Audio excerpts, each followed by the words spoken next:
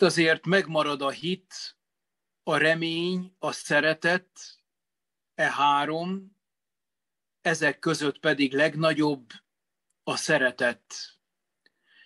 Kegyelem nékünk és békesség Istentől, ami atyánktól, és az Úr Jézus Krisztól, ami megtartunktól. Amen. Kedves testvéreim, szeretett gyülekezet, folytassuk tovább a már énekben megkezdett imádságunkat, imádkozzunk. Urunk, köszönjük azt a soha ki nem alvó szeretetet, amivel táplálod, melegíted az életünket. Kérünk, hogy te gyújtsd lángra a mi szívünket, hiszen te mondtad, hogy a megrepet nádat nem töröd el, és a pislogó gyertyabelet nem oltott ki. Adj nekünk mennyei, szent tüzet, élő, éltető, életünket átformáló igét és szent lelket a Jézus Krisztus nevében. Amen. Kedves testvéreim, Istenünk igéjét folytatólagosan olvassuk a római levélből. A mai ige szakaszunk a római levél 12. fejezetének a 9-től a 21. verssel bezárólag tartó ige szakaszt olvasom, és az ő szent lelkének segítségű hívásával magyarázom.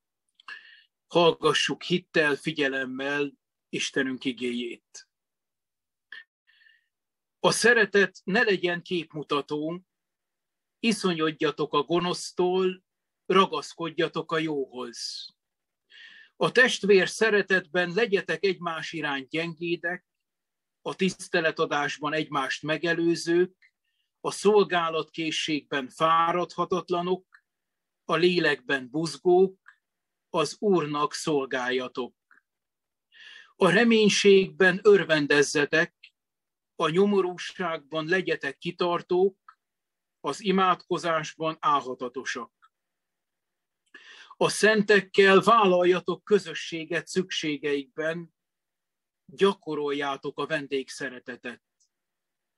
Áldjátok azokat, akik üldöznek titeket, áldjátok, és ne átkozzátok. Örüljetek az örülőkkel, sírjatok a sírókkal egymással egyetértésben legyetek, ne legyetek nagyra törők, hanem az alázatosokhoz tartsátok magatokat. Ne legyetek bölcsek önmagatok szerint. Ne fizessetek senkinek rosszal a rosszért. Arra legyen gondotok, ami minden ember szemében jó. Ha lehetséges, amennyire tőletek telik, éljetek minden emberrel békességben. Ne álljatok bosszút önmagatokért, szeretteim, hanem adjatok helyet az ő haragjának, mert megvan írva, enyém a bosszúállás, én megfizetek, így szól az Úr. Sőt, ha éhezik ellenséged, adj ennie. Ha szomjazik, adj innia, mert ha ezt teszed, parasat gyűjtesz a fejére. Ne győzzön le téged a rossz, hanem te győzd le a rosszat jóval. Amen.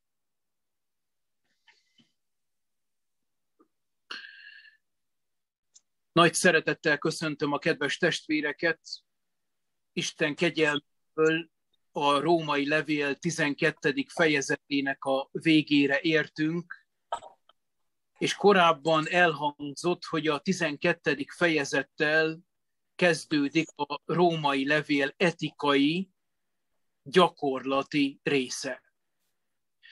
Nem csak egyéni életünkre találunk itt útmutatást, hanem egyházi, társadalmi életünkre vonatkozóan is olyan neves teológusok építették erre az egyetlen fejezetre az etikájukat, mint a neve amerikai teológus H. Richard Niebuhr a Krisztus és Kultúra című munkájában, vagy a feketék egyenjogúságáért harcoló baptista lelkipásztor, polgárjogi harcos, Martin Luther King szintén ezen fejtet alapján fejtette ki etikáját. Kedves testvéreim, a keresztény etika azzal kezdődik, hogy testemet okos istentiszteletként Istennek szánom, és a gondolkozásomat, azaz az életemet minden nap megújítom az Isten igéjében, hogy ne sodródjak ebben a világban, ne én idomuljak ennek a világnak az ábrázatához, hanem a bennem élő Krisztus fejts hatását bennem, és nem. A múlt alkalommal Isten az önmagunkkal való kapcsolatunkat akarta elrendezni, és a derék asszony és pálapostól példáját vettük alapigeként, és azt próbáltuk megtanulni az igéből, hogy értékeljük se alul, túl önmagunkat, hanem le józanul.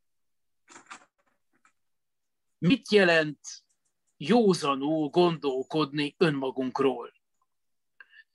Horváth Levente, erdélyi református lelki pásztor tanácsolta egyszer egy fiatal embernek, hogyha úgy érzi, hogy teljesen maga alatt van, akkor emlékezzen arra, hogy az egész világot Isten értette. Ha nagyon elbízná magát, akkor pedig emlékezzen arra, hogy ő por és hamu.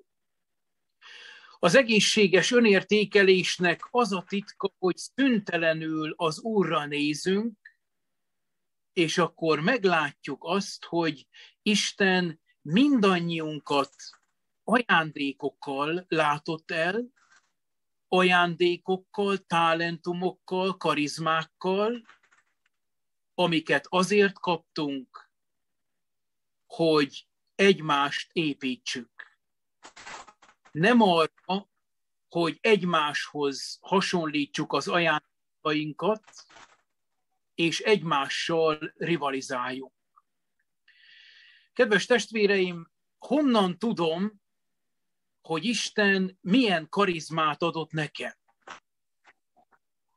Kedves testvéreim, onnan, hogy azt az ajándékot, amit tőle kaptam, azt örömmel végzem. Nem teher a számomra, hanem örömömet lelem benne.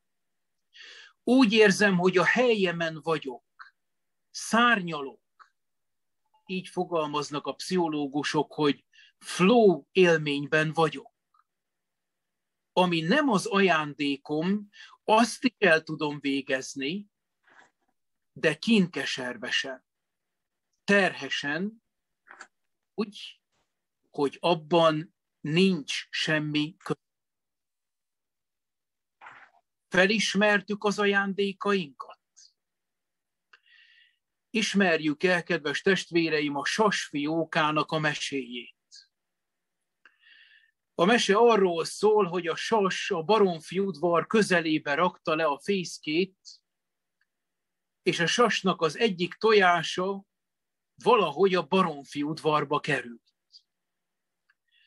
A kutló azt gondolta, hogy ez a tojás a sajátja, ezért kiköltötte a sas tojást is.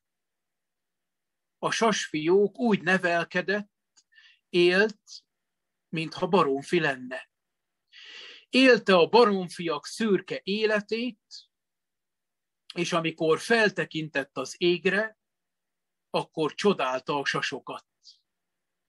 Egyik alkalommal, amikor gyönyörködik az égen úszók sasban, azt mondja neki a tyúk, bizony az a sas, az egek királya. De mi tyúkok vagyunk, akiknek kapargálniuk kell.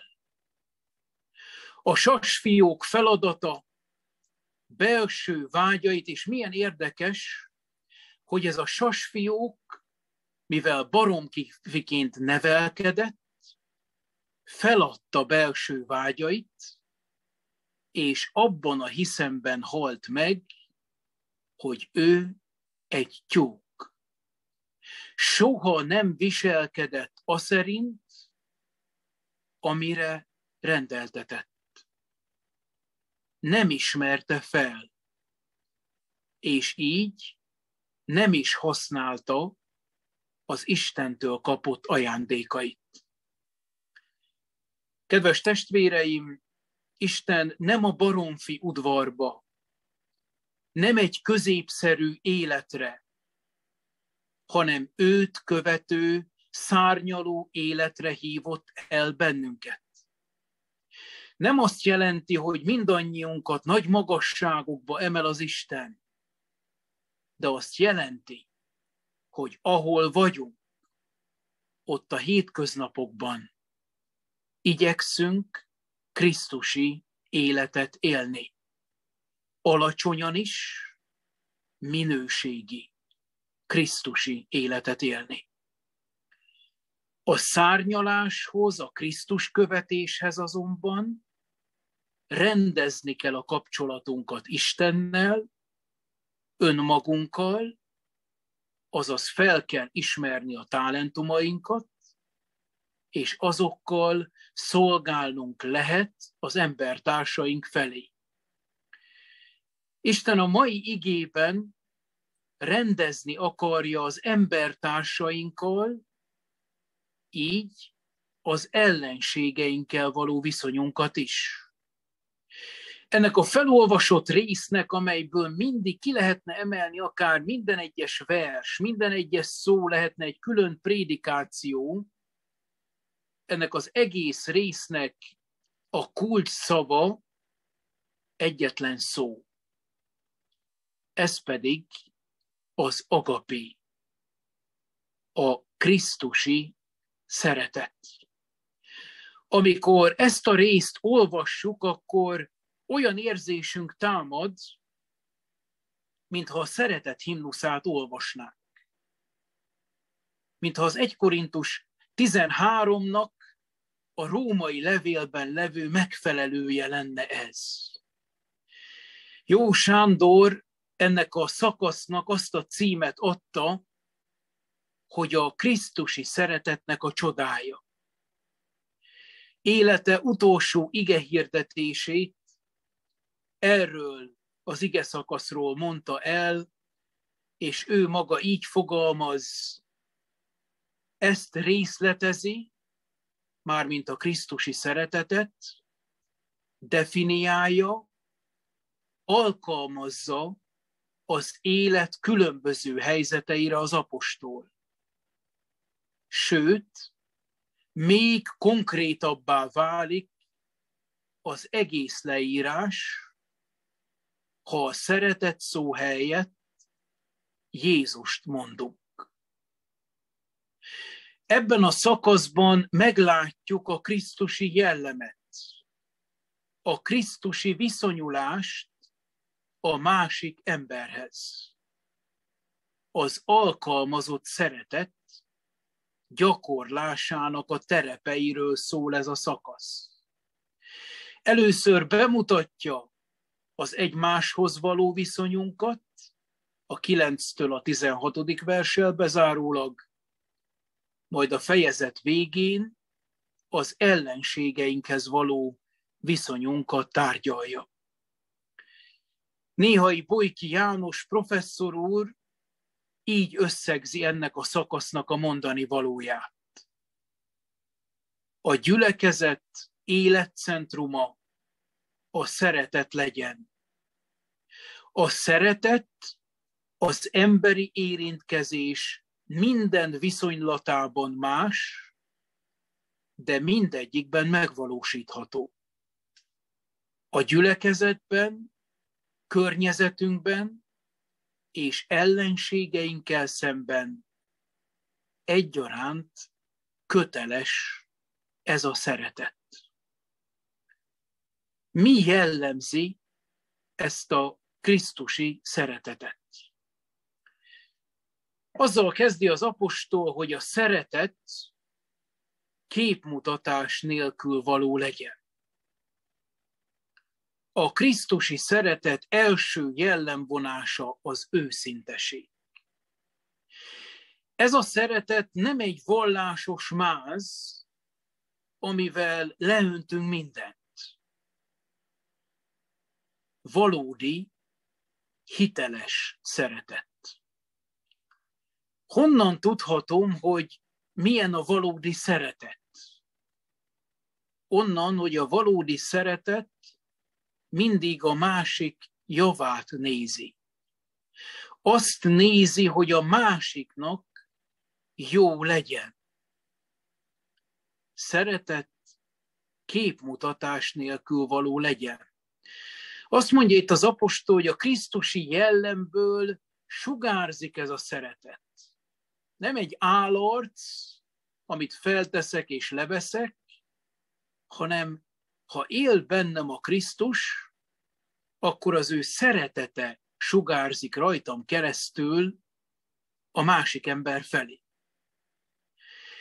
Iszonyodjatok a gonosztól, és ragaszkodjatok a jóhoz. Milyen kemény szavakat használ itt az apostol, fogalmaztunk itt a római levél szeretet himnuszában. Iszonyadjatok a gonosztól.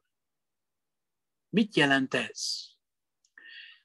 Kedves testvéreim, azt, hogy a Krisztusi szeretet szétválasztja a rosszat a jótól, az értékeset az értéktelentől, a bűnöst az ő bűnétől. A bűnös szereti, de a bűnt gyűlöli. Ezt látjuk Jézusnak az életében. Magához fogadta a bűnösöket. Mentek hozzá a bűnösök, mint a kivilágított lámpához az éjjeli pillangó. Jézusnak a szentsége vonzotta a bűnösöket. A farizeusokat viszont taszította. Jézusnak a lénye. És milyen érdekes, hogy az isteni szeretet Jézusban ölt testet, és Jézus nagyon keményen beszél ezekkel a farizeusokkal. Még a bűnösökhöz hogyan viszonyul Jézus? Csodálatos szelítséggel, tapintattal. Milyen ez a Krisztusi szeretet, kedves testvéreim? Martin Luther King azt mondja erről a szeretetről, megpróbálom ezt lefordítani, hogy kemény elme és gyöngéd szív. A Krisztusi szeretet azt mondja, hogy keserűen gyűlöli, undorodik a gonosztól, de ragaszkodik a jóhoz. Azt mutatja itt az ige, hogy ez a szeretet, ez nem érzelgőség. Ez nem kenyérre kenhetőség. Ez nem ostobaság, hanem a lelkek megkülönböztetése, józanság, így is fogalmazhatnék, hogy a kígyónak a rabossága a galamb szerítségével együtt. Atyafiúi szeretettel egymás iránt gyöngédek legyetek. Ez a Krisztusi szeretet gyöngét, de nem gyönge. Gyöngét ami azt jelenti, hogy bensőségesen szerető. A tiszteletadásban egymást megelőzők legyetek. Tisztelettel, megbecsüléssel fordulni a másik emberhez. Nem azon versenyezni, hogy ki az utolsó szó, hanem hogy kié legyen az első szó különnek tartani a másikat önmagamnál, nem azért, mert kisebb rendőrségi komplexusom van, hanem azért, mert ez a Krisztusi parancs, és ha ő él bennem, akkor ezt fogja megvalósítani az életemben. Az igyekezetben ne legyetek restek, ne legyetek rust lusták. Ő munkálja bennünk mind az akarást, mind a véghezvitelt, az ő jó tetszése szerint. Azt mondja, hogy a lélekben buzgók legyetek. Az itt található szó azt jelenti, hogy főzni, lobogni, átizzani. Ne fanatikusak legyünk, hanem teljesedjünk be az Istennek a lelkével. Ahogyan énekeltük, tüzed, Uram Jézus, szítsd a szívemben, lángja lobogjon elevenebben. Az Úrnak szolgáljatok. Mit jelent az Úrnak szolgálni? Azt, hogy akár eszünk, akár iszunk, akármit cselekszünk, mindent az ő dicsőségére teszünk. És ha ezt tesszük, akkor is elfáradunk, de milyen jó, hogy vigasztal az Úr bennünket.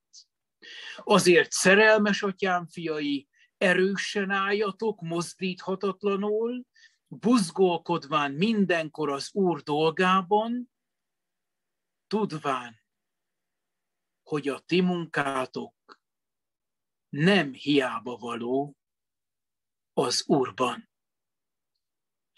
A reménységben örvendezők, a háborúságban tűrők, a könyörgésben álhatatosak. Azaz azt mondja itt az apostol, hogy a bennünk levő élő reménység adja meg az erőt, az okot, az örvendezésre, a kitartásra, még az elnyomattatás és a szorongattatásnak az idején is. Hogyan kapjuk meg ezt az örömet, ezt a kitartást, ezt az erőt? Úgy, ha Krisztusban maradunk, ő bennünk marad. Hogyan történik ez? A vele való szüntelen kapcsolat, azaz imádság által.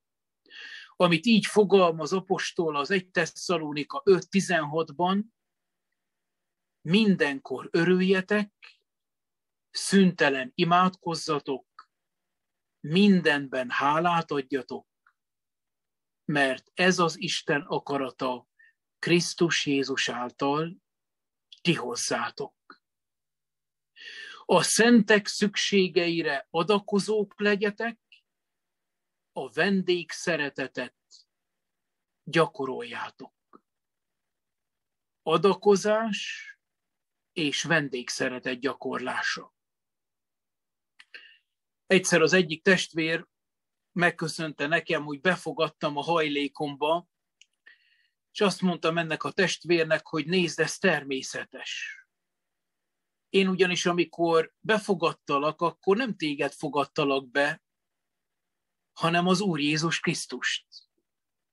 Mert ő maga mondja, hogy aki csak egy pohár vizet ad valakinek azért, mert tanítvány, nem veszti el az ő jutalmát. Vagy a zsidókhoz írt levélben azt mondja, hogy amikor gyakoroljuk a vendégszeretetet, akkor Isten angyalait fogadjuk be. A vendégszeretet gyakorlása nem a múlté, hanem a mindenkori jelené.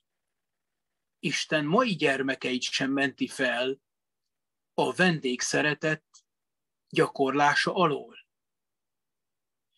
Örüljetek az örülőkkel, és sírjatok a sírókkal. Azaz, a Krisztusi szeretetből fakad az empátia, a beleérző képesség. bele tudom magam a másik ember helyzetébe képzelni. Ha öröme van, vele tudok örülni. Ha bánata van, vele tudok együtt sírni. Egymás iránt ugyanazon indulattal legyetek, ne kevékedjetek, hanem az alázatosokhoz szabjátok magatokat. Ne legyetek bölcsek önmagatokban. Az ige nem egyformaságról, nem uniformisról beszél, hanem azt mondja, hogy a Krisztusnak az indulata legyen bennünk. Amikor Isten gyermekei együtt vannak, akkor ott egy csodálatos egység valósul meg. Az igazi szimfónia. Akkor történik, amikor ő van a középpontban, és ekkor egymást is az ő szeretetével szeretjük. Sose fogom elfelejteni azt a gyerekkori emlékemet, amikor gyermekként édesanyámmal én is akkor voltam a lelki szüdülőben, amikor Gyökösi Bandi bácsi ott volt a gyülekezetével. És tulajdonképpen mi is becsöppentünk ebbe a gyülekezeti csendes hétvégébe, vagy csendes hétbe, és én kisgyermek voltam, nem sok mindent értettem, hogy mi történik, meg hogy miről prédikál Bandi bácsi, de én olyan szeretetet, olyan egymásnak a tiszteletét még sehol nem láttam és éltem át, mint ott és akkor. Ott mindenkiben egy lélek volt. És a gyülekezeti tagok azon versenyeztek egymással, hogy ki tud a másiknak több jót tenni. Nem tudtunk bemenni az ajtón, mert mindenki annyira udvarias volt, hogy mindig előre engedte a másik embert, és ott álltunk már nem tudom mennyi ideig, mert senki nem akart előre menni.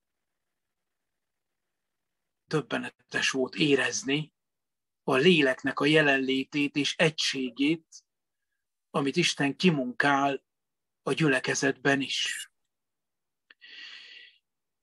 És végül az ellenségeinkhez való viszonyt tárgyalja ez az ige szakasz, és ennek a kulcs mondata ez így hangzik, ne győzettessél meg a gonosztól, hanem a gonoszt jóval győzd meg. Ezt meg hogyan kell gyakorolni a mindennapokban. Azt mondja itt az Istennek az igéje, hogy amikor ilyen lelkületű emberekkel találkozol, akkor áld meg ezeket az embereket. Áldani azt is jelenti, hogy jót mondunk ezekről az emberekről. De azt is jelenti, hogy megáldjuk őket a Jézus nevében. Amikor ilyen emberekkel találkozunk, és akik nekünk nagyon sok rosszat tesznek, azt mondja az ige, hogy ne álljunk bosszút önmagunkért, hanem hagyjuk ezt az Úrra. Ahogyan tette ezt József az Ószövetségben, amikor már előre mutatott arra a Krisztusra, aki nem kért tüzet a Golgotai kereszten, hanem azt mondta, hogy atyám, bocsáss meg nekik, mert nem tudják, hogy mit cselekszenek. Ne állj bosszút önmagadért. Aztán azt mondja Isten igéje, hogy szívből bocsáss meg az ilyen lelkületű embereknek. És erről már beszéltünk a megbocsátásról, volt már egy hónap, amikor erről szóltak az ige hirdetések, hogy mit jelent szívből megbocsátani, egyet biztosan jelent. Ne vádold magad, ha ez a szívbéli megbocsátás nem megy egyik pillanatról a másik. másikra. Hiszen a megbocsátás egy hosszú folyamat, ami egy döntéssel kezdődik, hogy megbocsátok az ellenségemnek, szeretem az ellenségemet, de nem úgy szeretem, mint a Krisztusi testvéremet, mint a feleségemet vagy a gyermekemet, de a Krisztusi szeretettel szeretem. Ha lehetséges, amennyiben rajtatok áll, minden emberrel békességben éljetek. Olyan csodásan reális az Istennek az igéje. Törekedjünk mindenkivel szemben a békességre, de nem tudunk mindenkivel békességben együtt lenni. De törekednünk kell rá. De vannak olyan emberek, akikkel egyszerűen nem tudunk békességben élni. És végül az ilyen érzületű emberekkel szemben azt mondja az apostol, hogy tegyél jót a gonosz emberekkel. Mert a gonoszt gonoszszal nem lehet legyőzni. A gonoszságra csak a krisztusi indulattal érdemes reagálni, ahogyan Jézus tette. Nem olvasott be, hanem szeretettel viszonyult a hozzá közeledőkhöz. És milyen érdekes, hogy amikor Jézus ott van Péternek a hajójában, és megtörténik a csodálatos halfogás, akkor Péter maga mondja, hogy Uram, menj el tőlem, mert én egy bűnös ember vagyok.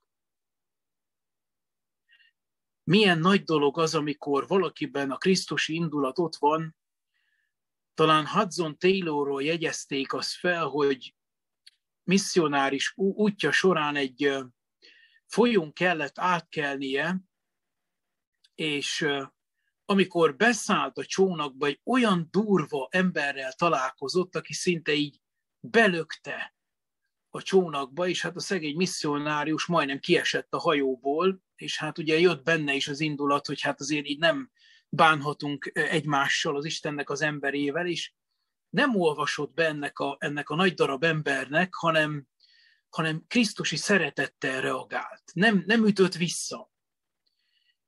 És nagyon érdekes, hogy, hogy leírja azt, hogy eltelt egy kis idő, és ez a nagyon kemény, durva ember megnyílt az evangélium előtt.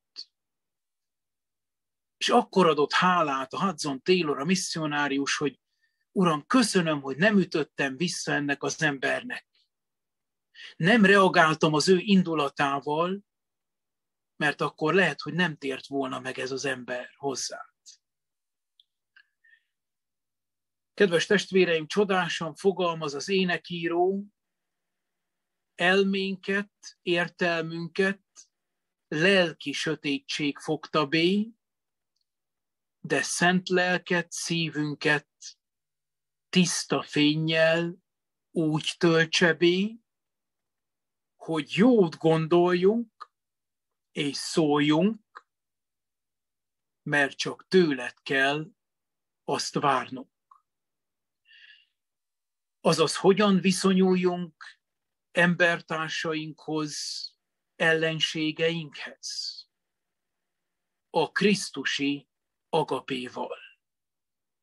Mit jelent röviden a Krisztusi agapé? Jót gondolni, jót szólni, és jót tenni. A kígyó okosságával és a galamb szerítségével. Most pedig egy pár kérdés a beszélg a Biblia óra második felében, az alkalmazott szeretet gyakorlásának mi a két fő területe a mai igében. Mondjunk személyes bizonyságtételt arról, amikor a bűnt elutasítottuk, de a bűnös szerettük. És van-e személyes bizonyságtételünk arról, amikor a gonoszt jóval tudtuk meggyőzni? Imádkozzunk! Drága Úrunk, köszönjük az agapé szeretetet, ami Te magad vagy Jézus. Tölts be bennünket önmagaddal, a Te drága lelkeddel, hogy a Te életedet éld a mi emberi kapcsolatainkban is. Könyörgünk a körülöttünk élő embertársainkért, ellenségeinkért, könyörülj rajtuk és rajtunk, hogy soha ne győzzön le bennünket a rossz, a gonosz, azáltal, hogy mi az ő eszközeivel vágunk vissza az ilyen lelkületű embereknek. Urunk, hadd lehessünk a te tanítványaid ebben a mostani világban. Visszük te eléd, Urunk, a háborúnak az áldozatait, az egymással szembefeszülő feleket, ahol annyi sok viszály van, annyi sok ellentét van, de visszük eléd a mi gyülekezeteinket, emberi kapcsolatainkat, te látod, mennyire rendezetlenség ott urunk, a családunkban, de társadalmi szinten is. Milyen ellentétek feszülnek éppen napjainkban, itt a választási finisben. Urunk, te tőled való vezetőkért könyörgünk, akikben a te lelked, a te indulatod van, és akik a rájuk bízottakat is te feléd viszik, és nem az ellenkező irányba. Urunk, annak nevében kérünk, aki így tanított imádkozni, mi atyánk, aki a mennyekben vagy, szenteltessék meg a te neved, jöjjön el a te országod, legyen meg a te akaratod, amint a mennyben, úgy a földön is. Mindennapi kenyerünket add meg nekünk ma, és bocsásd meg a mi védkeinket, miképpen mi is megbocsátunk az ellenünk védkezőknek.